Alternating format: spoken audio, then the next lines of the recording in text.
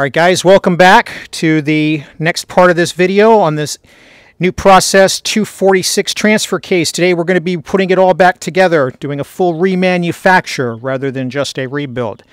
That means we're going to be replacing all the gaskets, all the seals, all the bearings, and any part that has friction or wear, such as the clutch pack.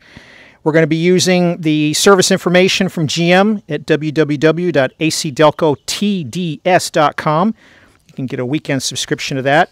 And in this assemble section, they're going to talk about a number of tools. You do not need all of them. Some of them are nice to have, some of them are must have. Some of them we can just translate into more generic tools, and I'll point all that out as we go. So let's get started. So the first thing they had talked about um, in the assembly manual, they talk about studs on the front half of the case, right? We did not remove our studs, so we do not have that to do. If you did, that's an item that you can go take care of. The next thing they talk about is getting it mounted into a bench top uh, fixture so that you can rotate it and work on it. And again, that's a nice to have item that we're not going to do. The coverage on this video will be the, the new Venture gear. Remember, new process changed its name a couple of times. It started off as a New Process between GM and Chrysler. It became New Venture Gear, and then later on became something else.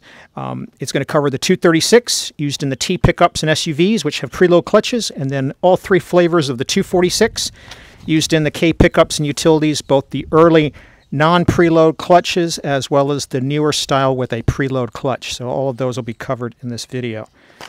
First up is going to be um, the input bearing. Now notice here that they've got a couple of notes here I'll call out.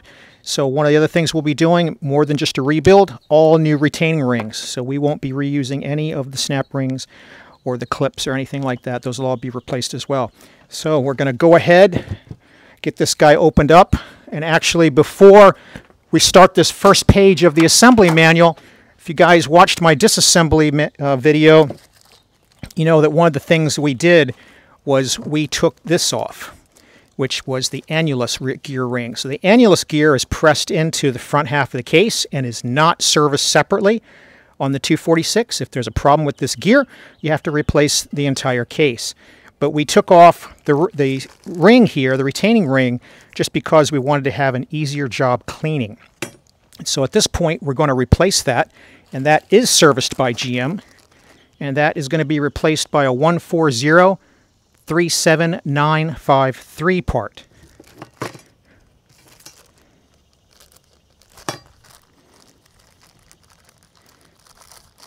Just like opening the packages like this rather than trying to rip them open because we don't want to bend anything. So we're just going to confirm this is our same thickness ring, same shape on the end. And this ring here has got some more life to it, so it's more out, which is exactly why you want to replace these rings, right? A guy like this, we can just get him started by hand.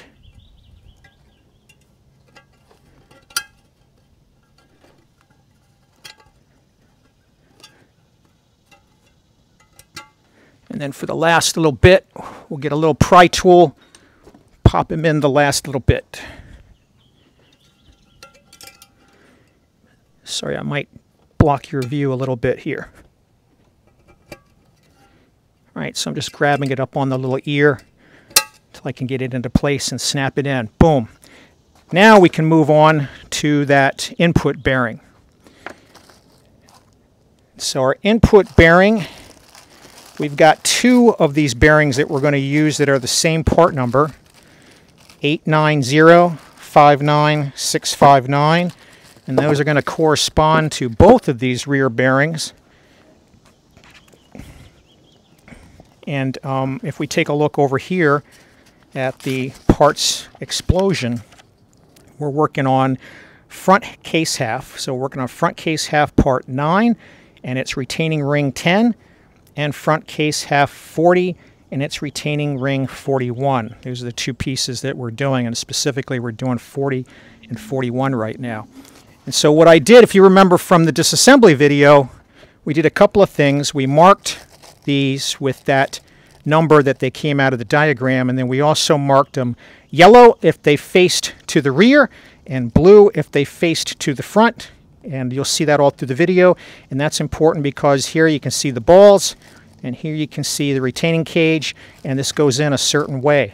And then the rings, we have 10 and 41 and the ring corresponds to part 12547465. So we're going to go ahead and drop this first guy in, which just to be consistent with that one is number 40.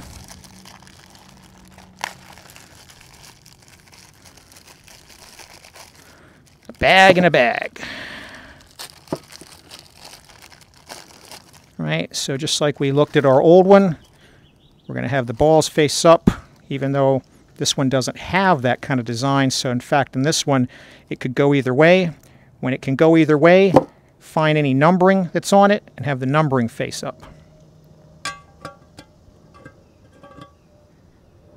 That's going to sit right in like that. We're going to have to get something to tap it in.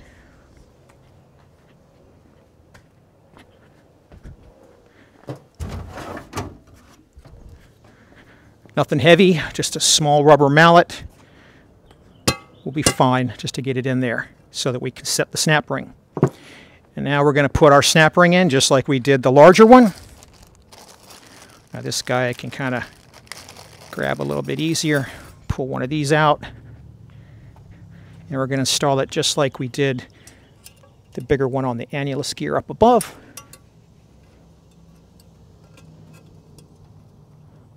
What's important on these though is you notice there's an opening right here.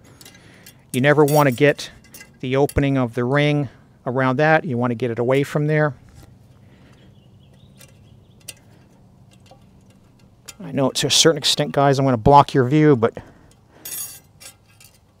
unavoidable.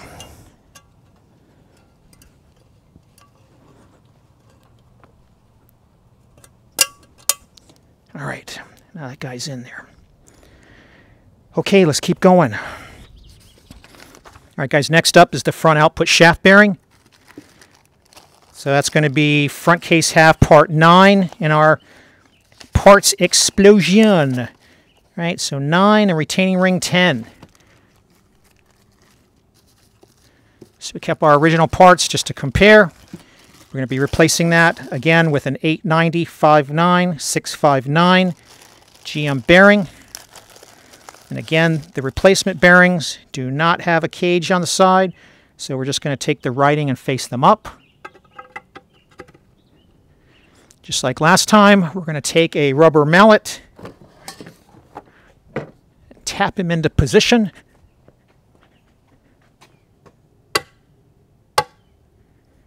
And then we're going to grab our ring, which again is a 125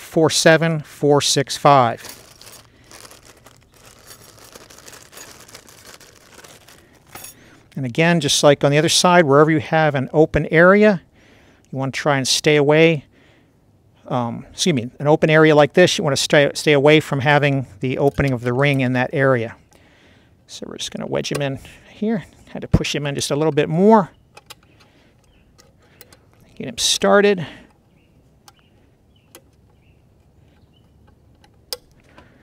Grab a tool to help out.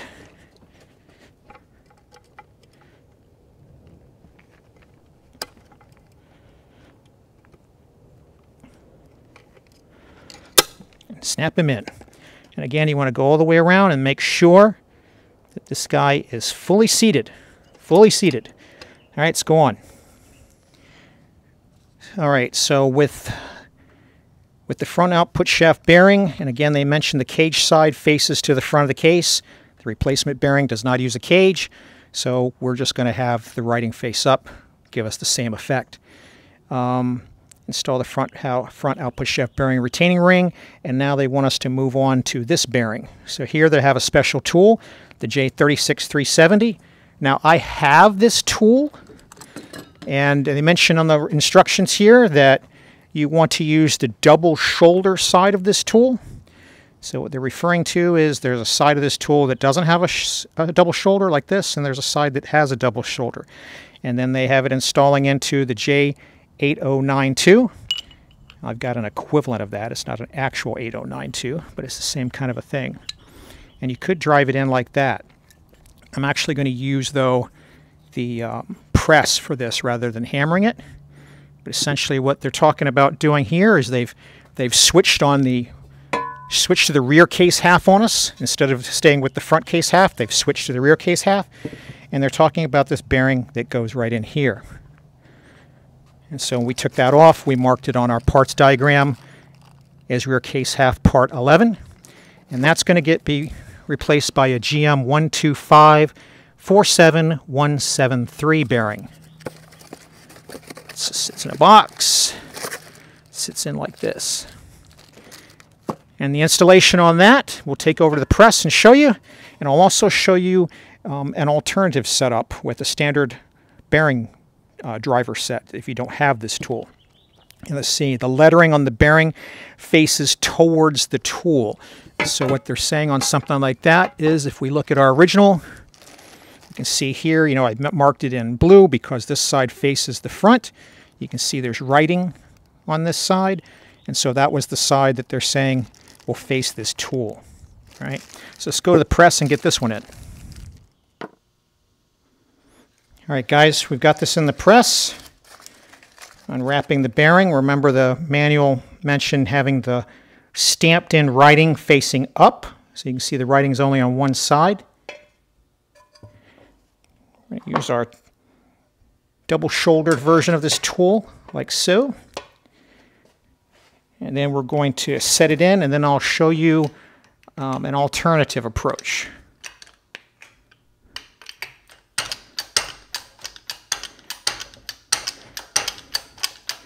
I've got the case sitting on a block of wood just to take some of the stress off of the magnesium.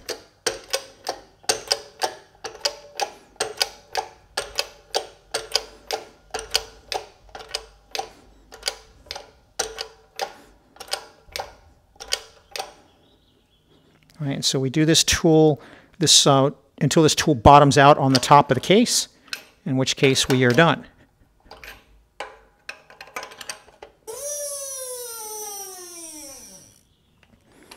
So what have we done here? There's our block of wood. And there's our bearing installed. So this tool with this double shoulder is sitting inside and then pushes down on the second shoulder to get this indent into the case for the bearing. And then the outer piece stops against the top of the case. Now you could take a standard driver with a 50 millimeter and a 60. That corresponds to the inside and outside of this tool. So this is 50 and this is 60. What we don't have is this little step because we can only assemble things like this. And so what you would have to do if you only if you only have this type of tool is you'd have to get it in partway with that and then you'd have to have another piece that you push in this little bit. So I'm going to go show you how much of an indent this is so you can do it that way and also give you the size. All right, guys, so I told you I'd give you the measurements on this, right? So the outside of this tool, 49.9, 49.96, right? It's got some wear. That's 50, 50 millimeters. The main barrel of the tool, 60 millimeters. The step that we were talking about earlier,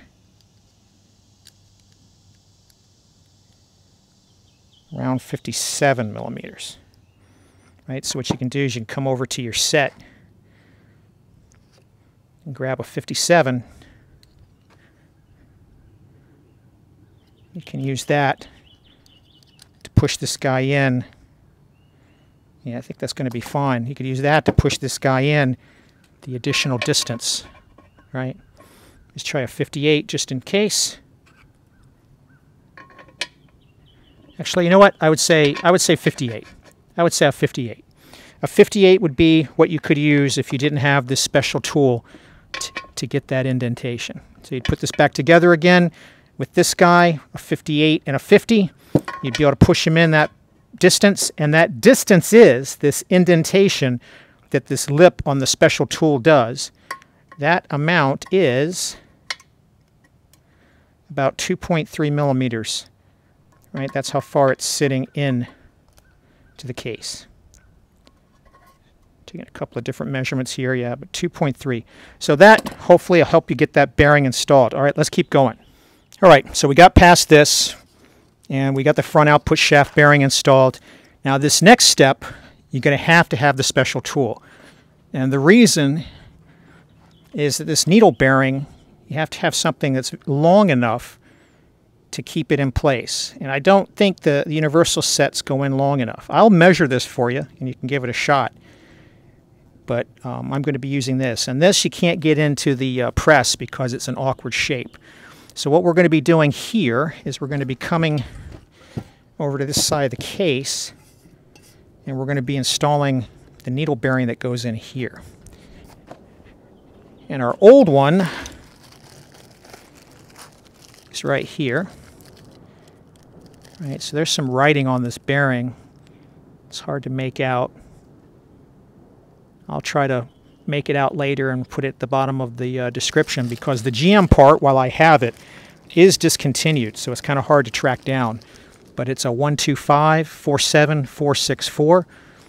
Anytime you happen to see me have a little red mark on this white um, numbering to the parts explosion, that means it's a discontinued GM part. But that's our guy.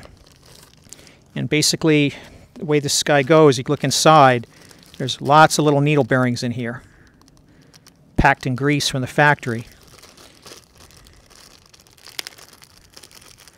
And this tool's job is to hold all those in while you install it, right? To keep them from falling out. So we're going to end up just driving that in with a brass hammer. See if they mention anything else specific about that. Nope. And the next thing they're going to have us do, they're going to have us install the actuator control lever. So we have our original one that we cleaned up. So that's the original one we just cleaned up. They're just going through now showing you that there's some differences between the years. The non-preload clutch uses a different lever than the preload clutch. The correct lever must be used to prevent drivability concerns. The uh, Number two actuator lever for the non-preload clutch does not have any holes, so we have the correct one because we have this is an older 1999 246 that has a non-preload clutch. The newer ones have those two holes that you see in the picture. Other than that, they're the same. They would want us to lubricate the control actuator lever shaft and bearing, so the bearing is pre-lubricated if it's brand new from GM. If yours is an aftermarket one, don't forget to give it some pre-lubrication we're then going to install this shaft and we're going to install a new retaining ring. I should mention over here that every time you put a retaining ring on the service manual, GM wants it to be new so that it holds on. Ensure that retaining ring is fully seated and then we're ready for something else. Let's get all these pieces on. All right, guys, so we're about to install this control actuator lever shaft bearing. This is an example where sometimes you have to have multiple sources of information. So service information from GM is supposed to be the most accurate but all it says is install the bearing. It doesn't take note of the fact that this bearing has writing on one side, and on the side that does not have writing, there's a, there's a seal. You see that black seal in there. And so what we want to know is, well, which side faces out? So we're going to go refer back to the unit repair manual, which is usually obsolete, but it does have some extra data that's important for this. So same tool, 42737.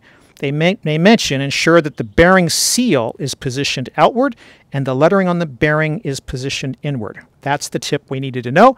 I'm not sure why it got dropped when they did the updated manual, but now we know that the seal faces outward and the writing faces inward. And by the way, um, the, the, the, this, the uh, bearing writing on this guy is a F, well, I gotta pull it closer to my face here, it's an F68828. F68828 is the bearing. All right, so we're just going to come over here. We're going to position that guy right there. Just going to push him in with our finger for a moment.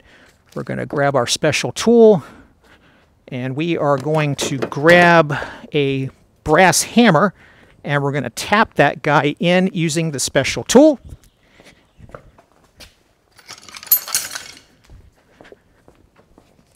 You could also use a brass drift.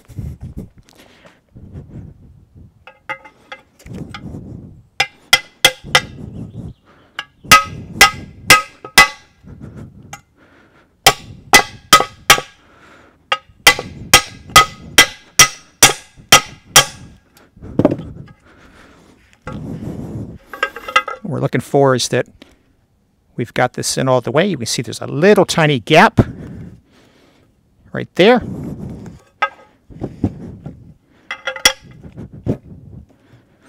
Just going to get the tool to seat on the case to close that up.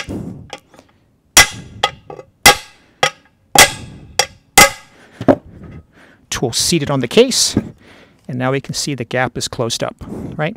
So we're done. All right, All right guys, let's take a look at the measurements on this J42737. So the outside 18.8 millimeters. And the part that rests against the case, almost 51 millimeters. The whole enchilada, about 28 millimeters long. So hopefully that'll help you match up an alternative driver tool. All right, let's put this guy over here. Let's take our lever. Let's position him in.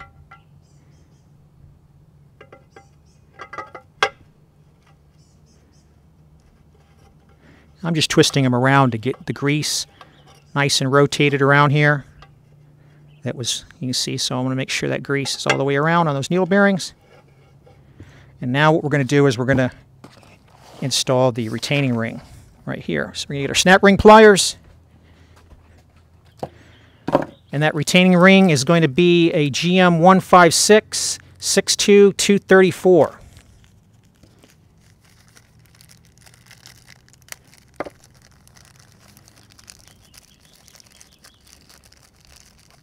Little tiny guy.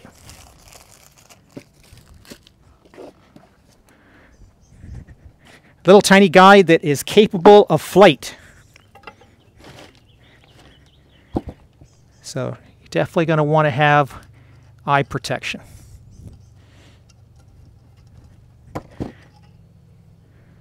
All right.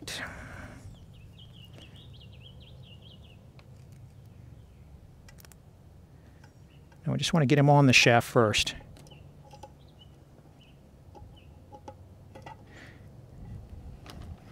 I might have to get something propped up behind here to keep this lever in position or have a helper hold it until I can get this guy on there. Yeah, let me do that. Let me get something to prop that open.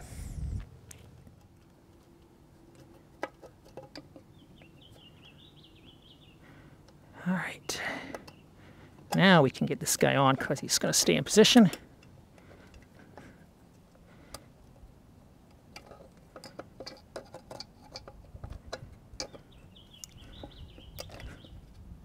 It's not on yet.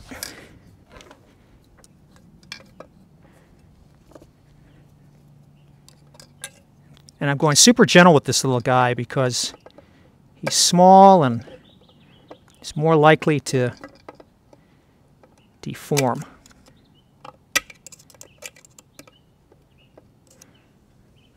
All right.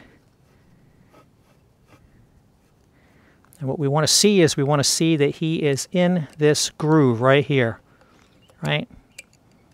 So that shows he's going to be staying on.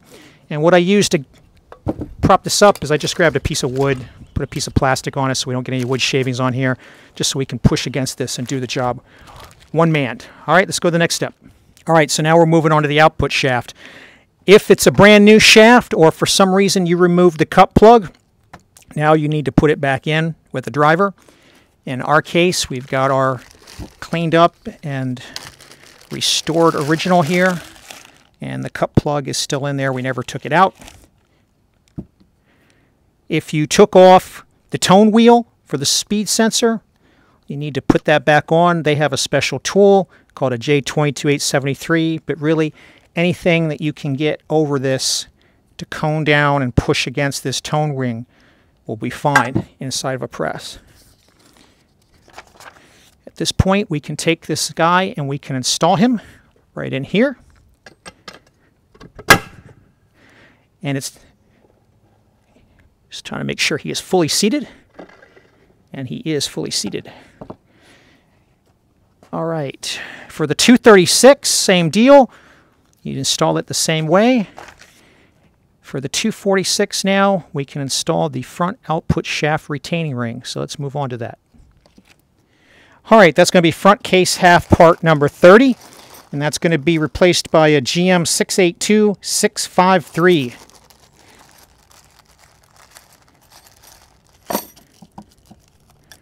All right, same thickness ring. Just go ahead and get that guy on here.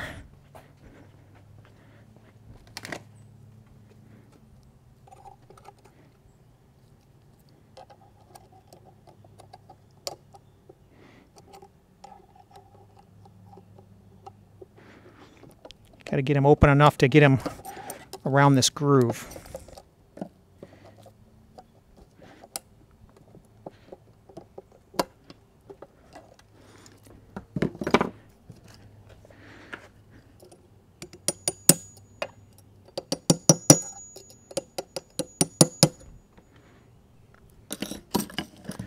Still up a this side. Didn't notice that. Sorry about that, guys.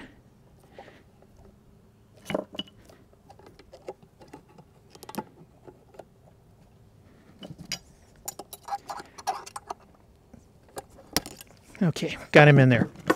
And again, just like with all the other ones, it's super important to make sure that these guys are fully seated. And the way you can do that is just watching how much space you have on the outside of this as you turn it around. And we can be satisfied that he is fully in place. All right, next step.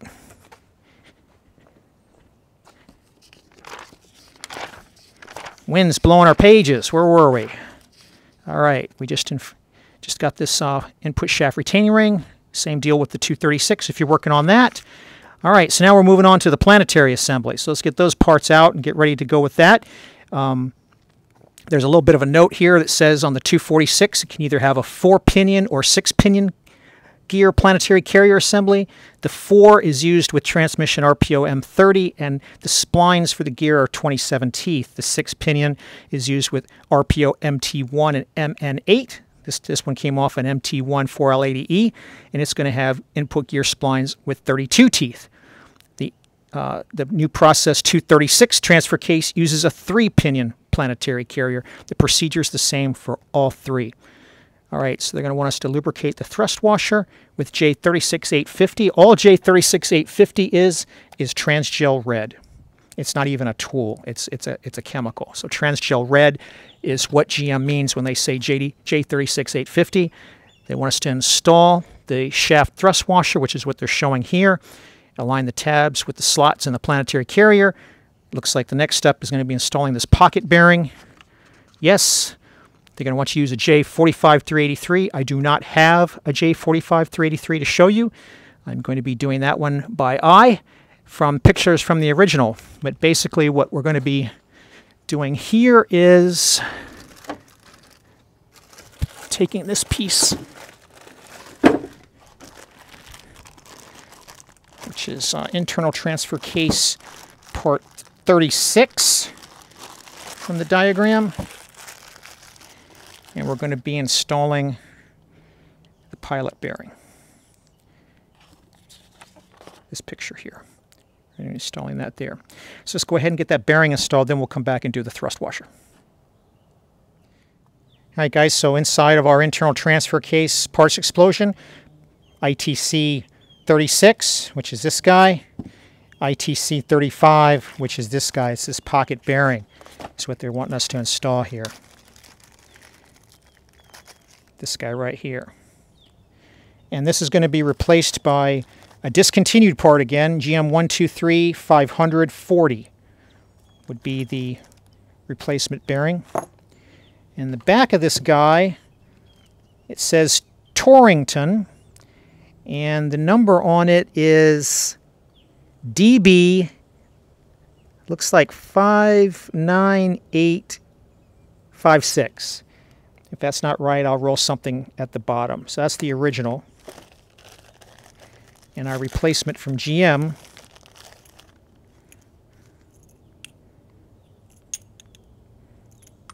right? Identical. This one has a little bit of a different number on it. It's INA, and it says FC66561. So those are your actual bearing supplier numbers. And so what we're going to be doing is we're going to be taking this over to the press and pressing this guy in right there. We're going to get a, an adapter that'll let us do that. All right, guys. Got our bearing, pocket bearing sitting inside here. What we're going to be using is a 28 on the inside and a 38 on top. And again, we got this sitting on some wood so it doesn't get damaged because there's not a lot of uh, pressure needed to seat this guy.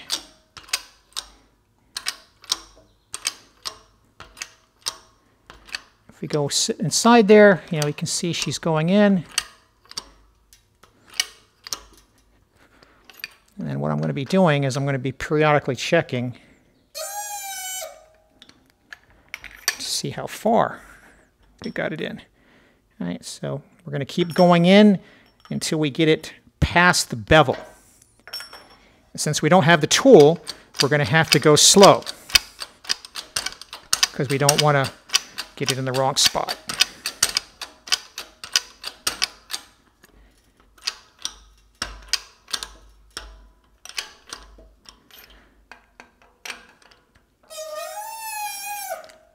I'm not necessarily going to bore you guys with this whole trial and error process, but you'll get the idea here, right? We're just going to go in a little bit each time.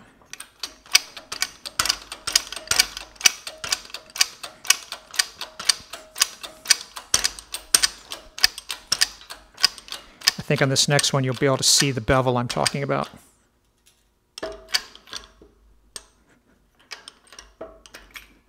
Let's see.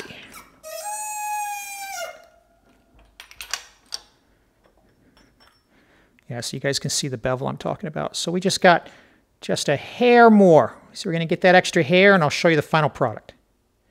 All right, guys, this is where I ended up with the seating of this pocket bearing. If we zoom in super close,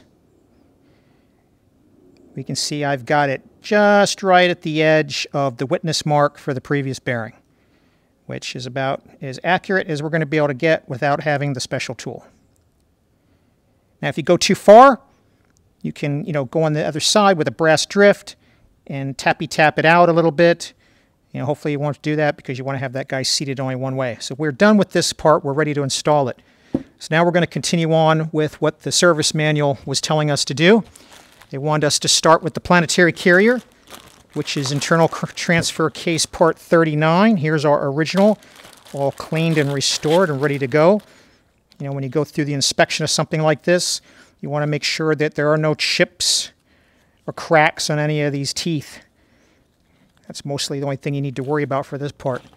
All right, so they want us to install the um, input shaft thrust washer. So the input shaft thrust washer was internal transfer case part number 34, and that gets replaced with a GM 155-47390. This is definitely one of those kind of parts that you don't want to get bent and make wavy.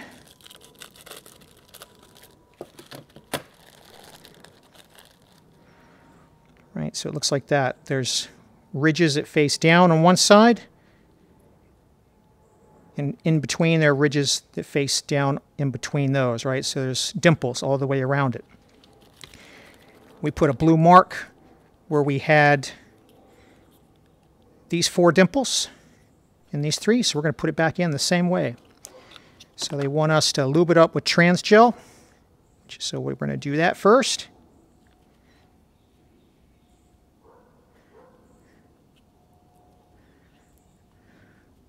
And then we're going to put this guy in just like that.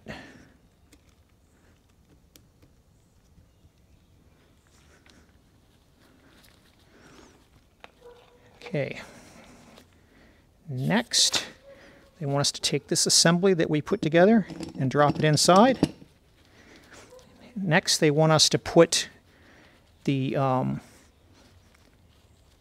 input shaft thrust bearing. So that's the next guy we need to put on. And that would be internal transfer case part 37, and that gets replaced by a GM 124705959. Again, this is another one that's very thin metal. You do not want to bend it.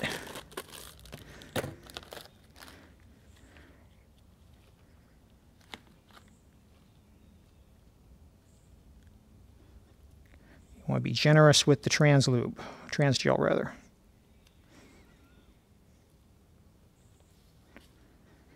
Now our original one faced up with the cutouts in this direction. Probably doesn't matter, but we'll make sure we put it back the same way.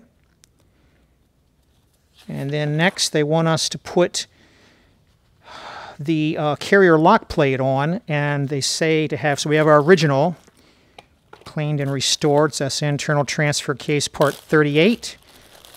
Install that with the letter facing up. They get some green paint on that facing up.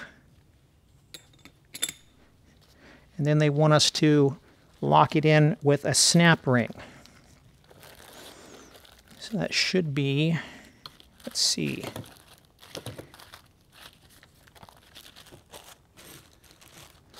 I believe that's the small plate.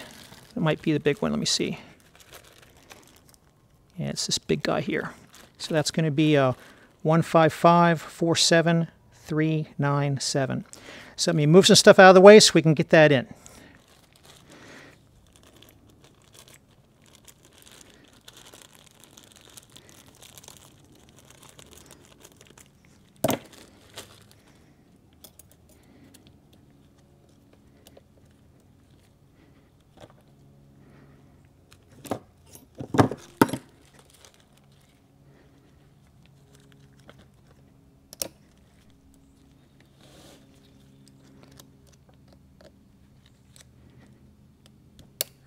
Okay.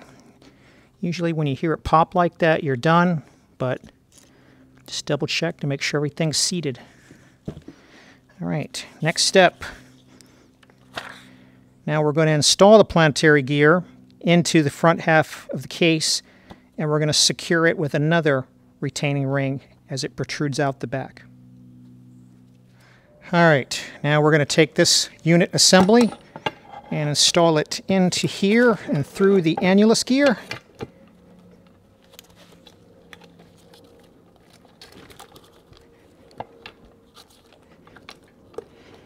Got to get it to seat in there. Got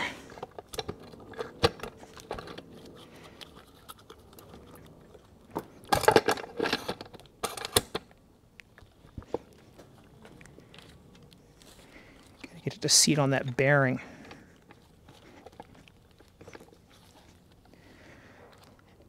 Take our rubber mallet, see if we can coax it along.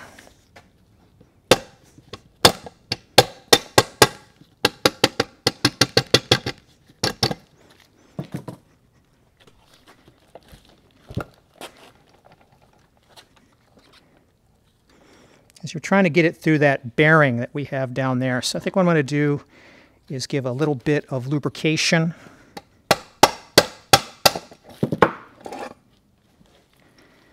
where it sits on the bearing to help us get past that.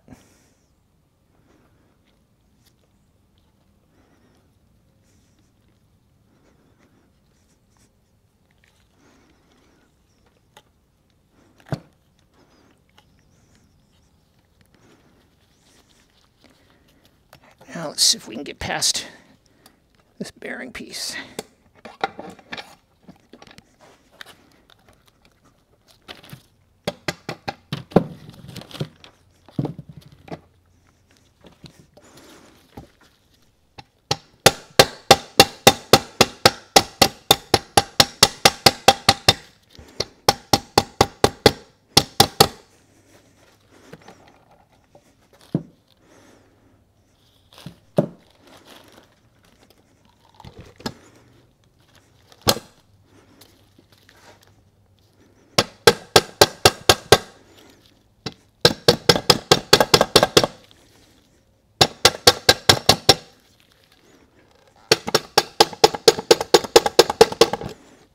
You don't want to force it, so you definitely want to just stick with something like a rubber mallet.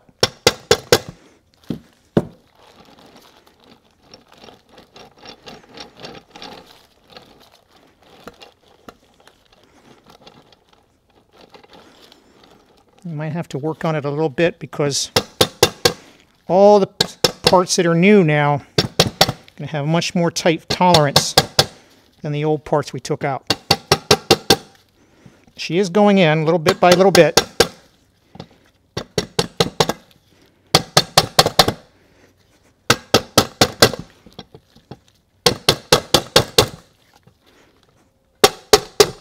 There we go.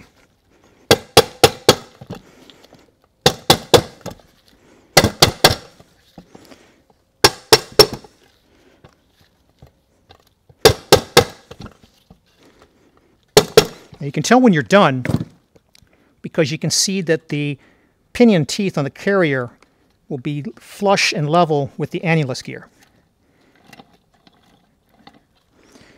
So now she should stay in enough for us to flip her around and get the retaining ring on.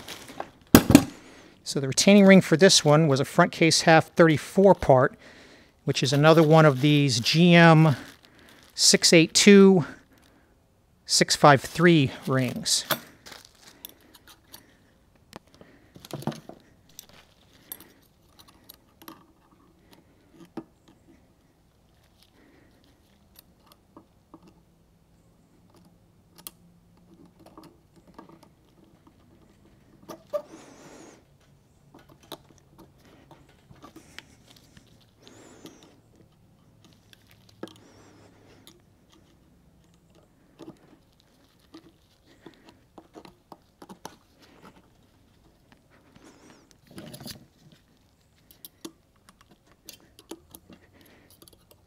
Just using a brass punch here to help nudge her into position. There we go.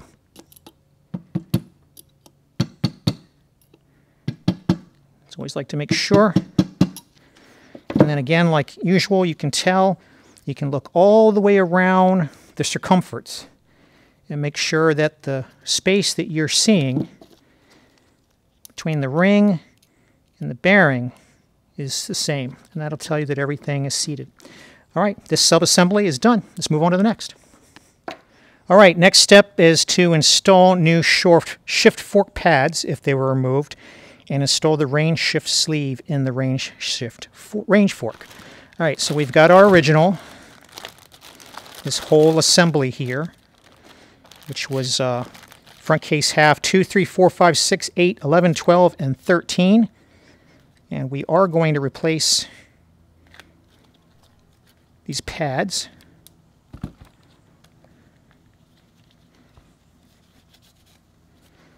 And the replacement pads, the center is going to be a discontinued part from GM 14070291. That'll be the center pad. You always want to kind of compare these with your originals to be sure. So that guy will fit right in there. There's a notch on the inside that fits into the notch in the metal and locks it in. And then the two side ones are still available. They'll be replaced with GM 14037966. I'm going to need two of these.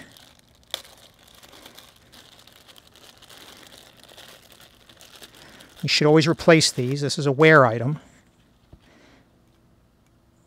Same thing here where you've got the little little piece that fits in there. Whoops. And we're just going to kind of compare with our old ones. So it's exactly the same. Okay. And then they want us to take this assembly with those new pads and reinstall it into front case half part 7, which is our original that we've cleaned up and restored. Like that. And now they want us to put that whole piece, and assemble, into the planetary that we just installed. So align the range shift sleeve on the planetary carrier. Align the roller on the range fork in the control actuator lever slot. That's this guy right here. There's a little roller here. Should be spinning freely if you've cleaned up everything properly. And install the range shift fork. All right, so put this guy up like this.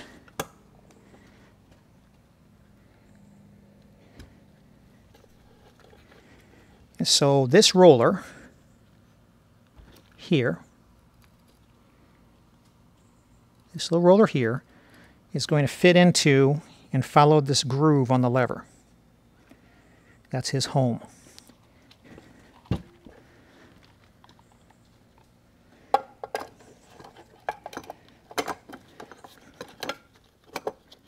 So we're going to move the lever around so that we can get that to fit in there.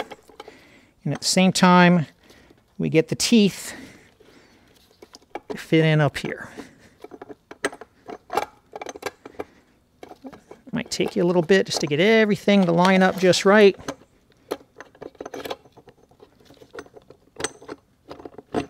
It's a very close tolerance.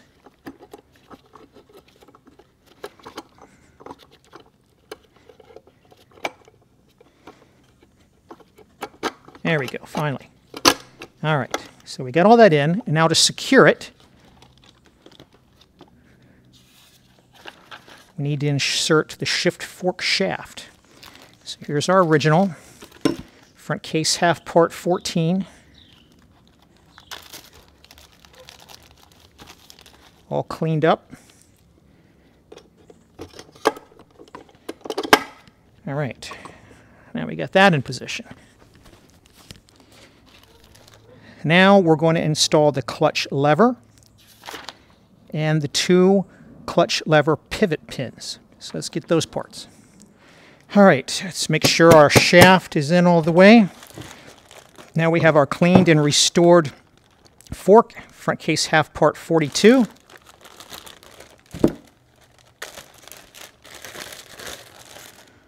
Right, so all cleaned up. No, and there's a roller on this that should be rolling freely. And this guy rolls on top of the lever. And then if you recall from the disassembly video, our pivot pins were shot, so we definitely had to replace them. That's GM part 890-59638. It's the whole assembly, including the O-rings.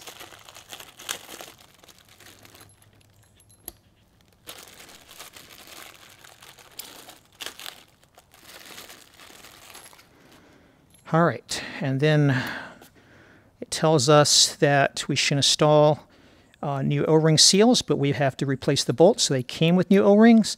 Lubricate the O-rings with transfer case fluid. So we're going to take some Auto-Trak 2 transfer case fluid because this is an Auto-Trak. The 246 is an Auto-Trak, not an Insta-Trac. And we're going to get some fluid out of here. And this is, you know, Smurf blood, Smurf oil, whatever you want to refer to it as. You cannot use um, Dexron 6 on these. You used to be able to use Dexron 3, and then they replaced it with this. Okay, so we got that guy lubed up.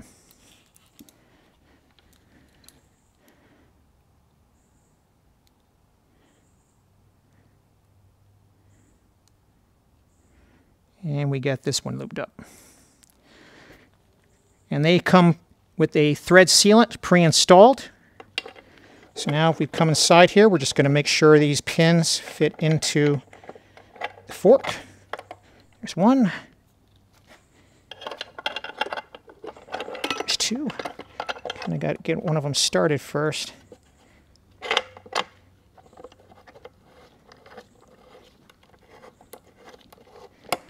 Once you get them started, it'll stay. All right, and these get threaded in with a 12 millimeter Allen head socket.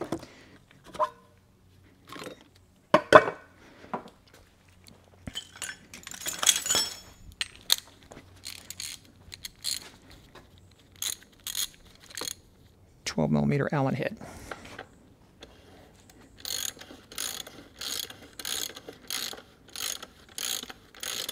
And you got to do them evenly. Going on one side a little bit. Go back to the other side. Until you end up getting everything fully seated. Make sure you've got these aluminum washers on here too that you see. The biggest problems with these transfer cases is they have a mag, you know, they're made of magnesium. They make contact with steel. They'll get corrosion from dissimilar metals. Make it very hard to get the pieces apart. You can see that the top of the Allen head has got like, you know, a kind of plastic coating all over it to make the steel be somewhat protected. So we got these guys snugged up on both sides. And what we want to do now is we want to kind of see is everything moving okay. So if we actuate everything, so if the encoder motor was to turn on and was to turn this,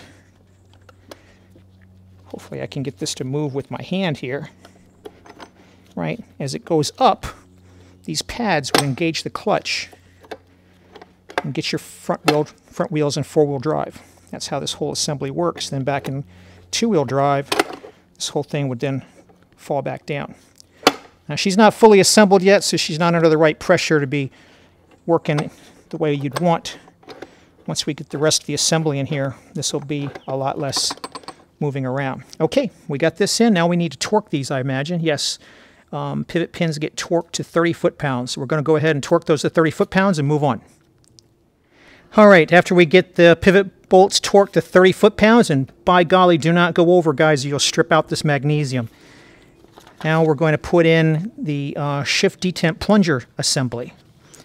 And so that is going to be front case half part 24, front case half part 22, front case half part 21 are the originals all restored, and front case half 23 is the O-ring. We're going to replace the O-ring, and that's going to get replaced with the GM 140 71849.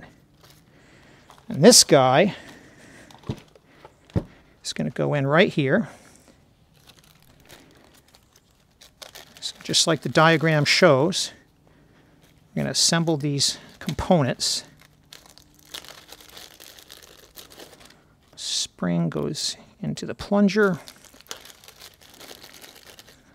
Aluminum cap. And then our O-ring. Bag in a bag deal again. Hecho en Mexico.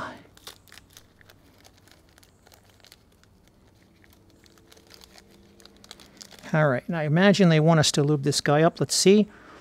Uh, lightly, see, lightly lubricate a new shift detent plunger O-ring seal. Okay, so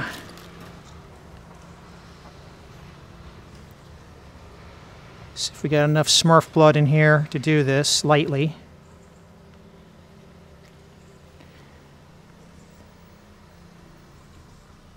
Roll that onto here.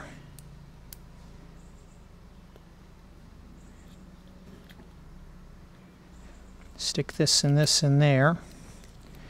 And then screw this whole assembly into here.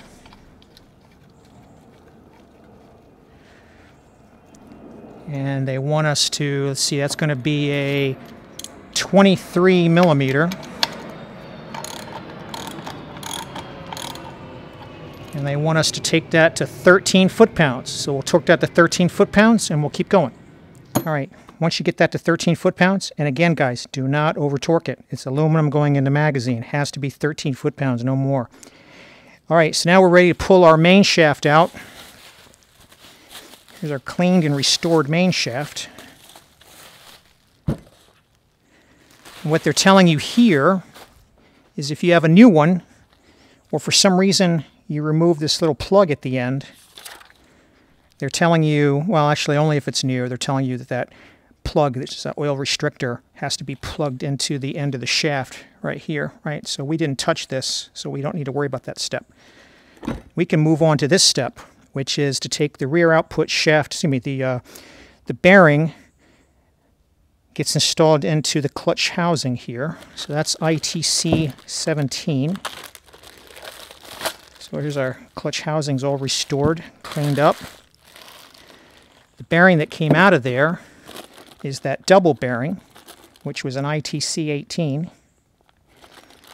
And the writing on this we marked faces the rear. And that's going to get replaced with a GM 12470557 bearing.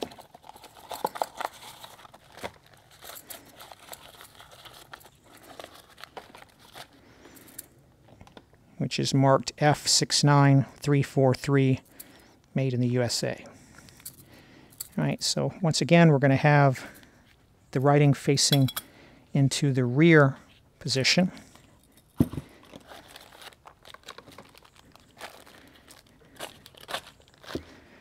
See what they're telling us to once again use the J36 370 and the double shoulder side, so very similar to what we did earlier. We'll be using this same tool or the alternatives I gave earlier in the video.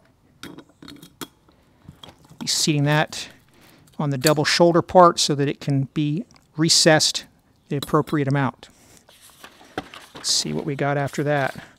After we get that on there, we're going to put the shaft in this housing together, and then we'll install the clutch hub. All right, so let's go do all that, and then we'll come back. All right, guys, we got the carrier sitting on block of wood. We're going to put the writing facing the rear, just like our old one. It doesn't say anything in the service manual that it matters, but we're going to put it the way we found it. In this case, that means facing down. And then we're going to put our tool in with the double edge in that position. We're just going to press her in.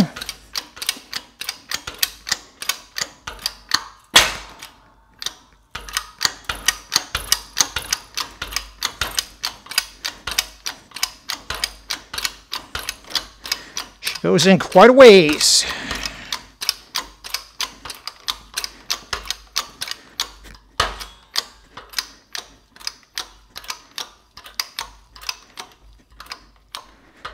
Fact, in this case, this is the end of the travel of our press. Going to have to actually raise it up one notch to finish this.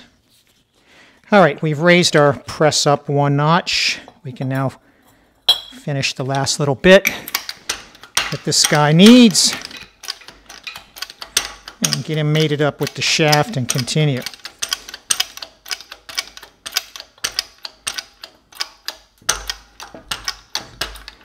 And you just go down until it bottoms out. And once it bottoms out, you're done.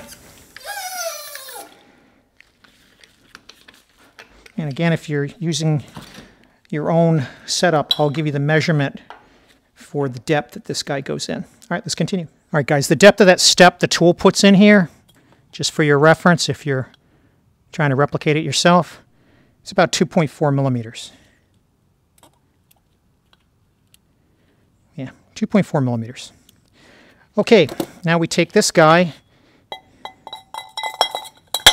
we put him on there, and then we take our ITC 19, which is the clutch hub, and we install him on top of there.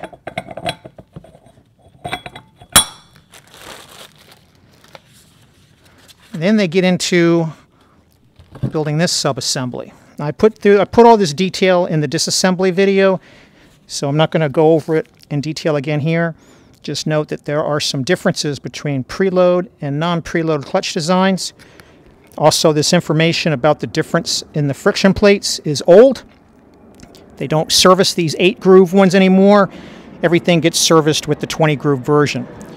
So what we're going to do is just go past this. There it is for you. If you didn't watch my disassembly video, we're just going to jump into what we need to do next. All right, so um, if you have a preload clutch, then you're going to install a clutch oil restrictor plate. We do not have one. We're going to be installing this, which is, if it's a non-preload clutch, there's a clutch spring. And that is ITC 21 here. All right, guys, we had a little glitch with the camera battery. Going to pick this up again with getting the spring out of the bag.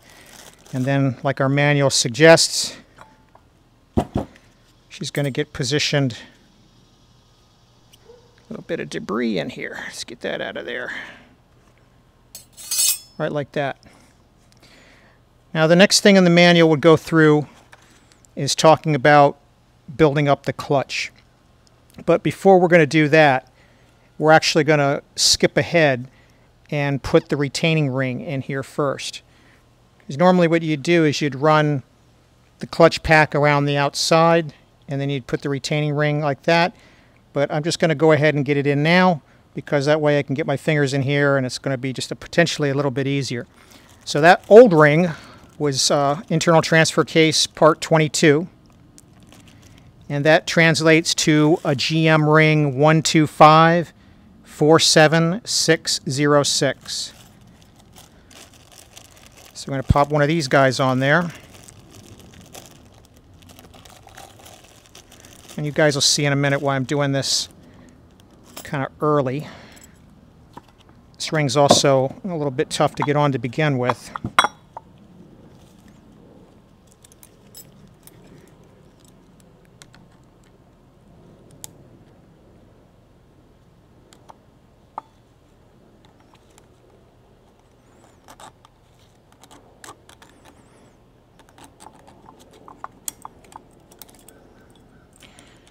Got one more set of teeth to get by down here. You want to look in the back here while you got it open on the front. You're going to just push it down in the back.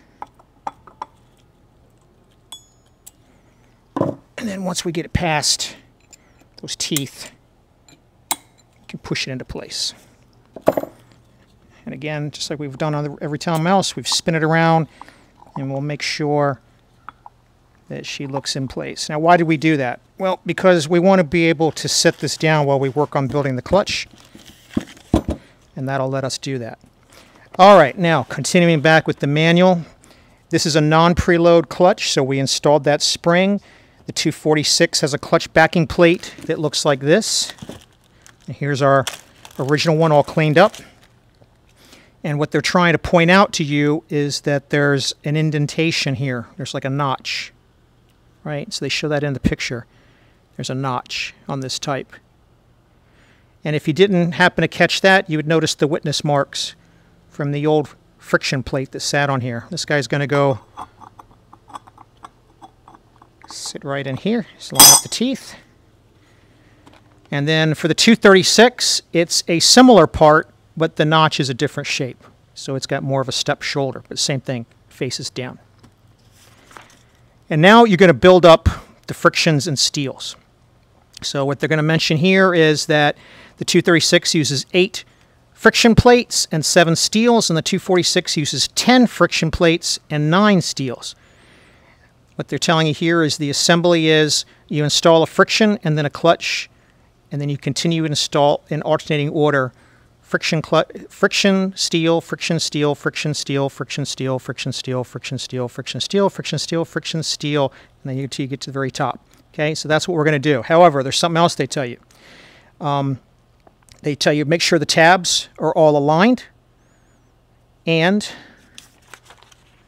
um, there should be a comment in here about um, lubing these guys up, usually. That's what I usually do. Make sure I didn't miss something, guys. Hmm.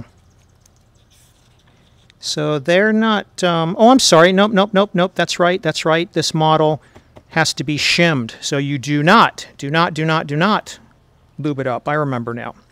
Yeah, these guys you can't lube up because you got to put them in dry because it's going to affect the, the shimming and the stack. So remember before in the disassembly video and also earlier here we talked about there were two types of frictions, one that has 8 segments and one that has 20. Just remember they're all serviced by the 20 now, which is GM 890-59648. And again, you put them in dry. So there's our first friction. And then our steels are going to be serviced by 12547608.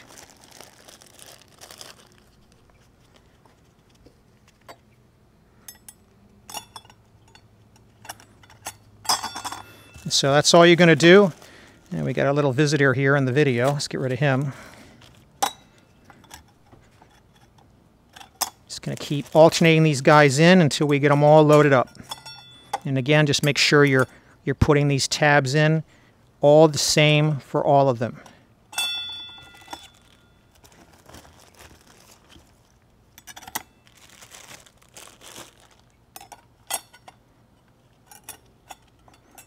Can sometimes be helpful to have like a magnet to settle these guys in here.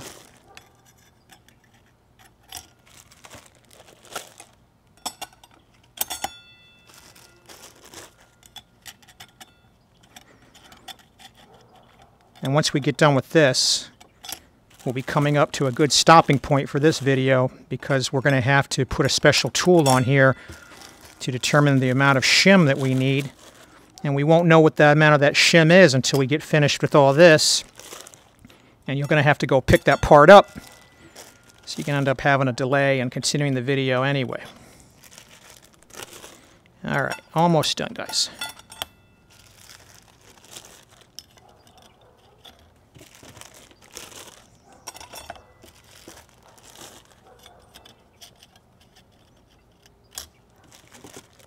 What I was thinking of is when you do an automatic transmission, you would normally lube up these frictions, but not in these transfer cases.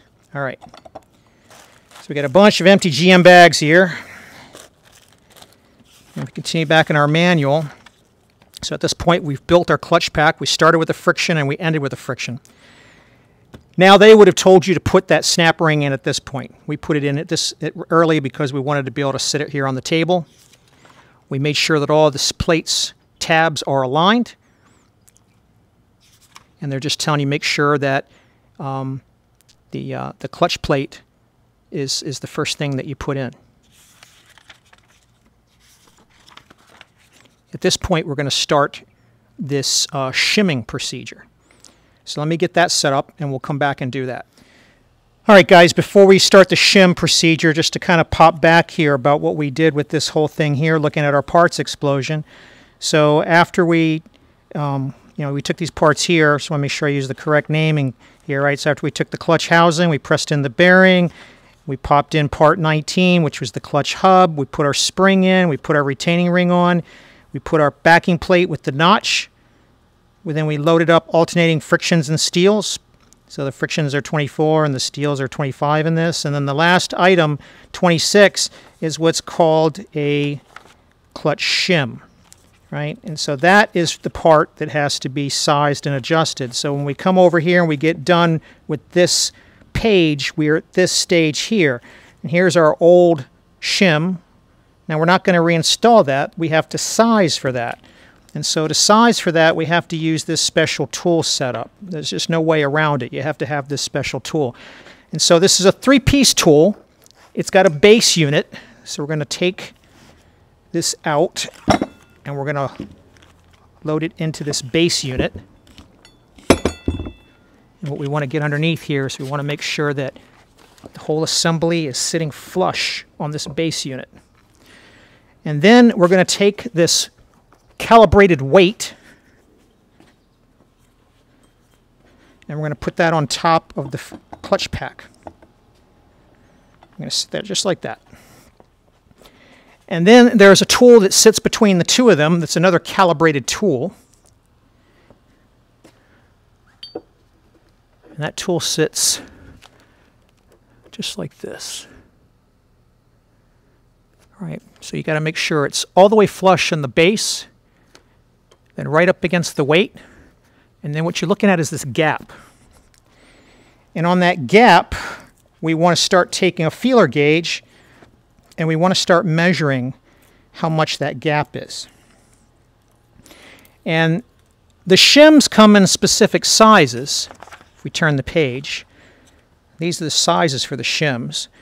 So we can start off with just measuring the shim sizes and see if any of these is a good match. So the first one I'm going to try here is uh, try 30 because there's a 32 thousandths shim. And you can combine these.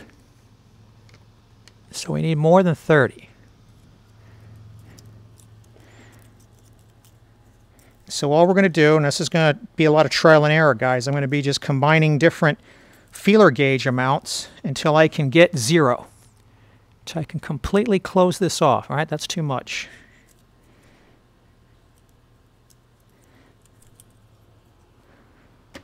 So that's what I'm going to be doing on each one of these. Until I have, just like, you know, gapping a spark plug, right? We're going to go do that on each of the three pads of this tool, this same procedure. So I'm going to go do that, and then we're going to come back and see how much we got. All right, guys, I finally found the one I'm happy with here, which is 51 thousandths. All right, so if I combine a, a 21 thousandths and a 30 thousandths feeler gauge together, that closes up that gap very nicely, as you can see. And that works exactly for the number two pad. It's just a little bit off for the number three pad, but as we see when we come back to the manual, they, they mention that you can have uh, up to 4 thousandths deviation here. All right, guys, just reviewing what we did here. Um, we put the base plate of the J44295. Now, they say it's in a base. It doesn't matter just as long as it's stable and level. So the, the, the uh, machine tabs facing up, we installed the rear output shaft with our built-up clutch assembly um, into this J44295, and then we added the weight on top of the assembled clutch plates, and then we put the gauge block on one of the locating tabs. This is these machined pads that we saw in the triangular shape. And we took a feeler gauge between the gauge block and the top of the weight, as I showed you, and we measured what it takes to close the gap between those two. We took all three pad measurements. The average of the three is what kind of shim that you need. And they also mentioned that you can select from the clutch pack, excuse me, clutch plate shim package the correct shim or shims. You can combine these plus or minus, uh, 0.1 millimeter, which is 4 thousandths of an inch. Now, I got to stop and tell you that this pack is no longer available from GM for many, many years. This um, service manual, I mean, me, service bulletin came out uh, back in 2004 where they broke this pack up, which was kit number 124 and they got rid of that and they broke them all up where each shim is its own part number. Um, probably because, you know, people were, were having a lot of waste there. And so what we're after, and your, your, yours will be different, everybody's measurement will be different. What we're after is this uh, 0.051, 51 thousandths one, which is 125.47614. So we're going to have to go track that down. Just for grins, let's take a look at our original shim. And let's see what one was in there before we did this rebuild. So this is a 1.86 millimeter. And that's a little bit off, so let me make sure I'm not grabbing a, a burr or something Of course, you know, some of this material has probably been worn off rubbing against the friction plate. I'm going to guess, just because it's 186, and you know, you can see there's been some wear on this over the years. But it's pretty uniformly 186 or 185. I'm going to guess this started life, and that's that corner is 192. This probably started life as a uh, 81 thousandth shim, which is the 7617 one. So the point they make in this, though, is after obtaining the desired thickness, do not remove the plates from the clutch housing. Don't disturb it, don't change it, because if you take it out, you could end up changing the measurement. It's that sensitive. And this is usually where folks go wrong. They skip this step or they don't do it right, and then the clutch pack does dies a very early life. So we're trying to get another two plus decades out of it, so that's why we did it by the book. All right, at this point, guys, this is a good point to stop this video because I got to go out and track down this particular shim. If you got comments or questions on part one here, go ahead and leave them below, and I'll try to help. If you found this video useful, it saved you some time, or you just learned something, please take a, take a moment to hit that like button. I'd really appreciate it. And as always, thanks for watching, and stay tuned for part two.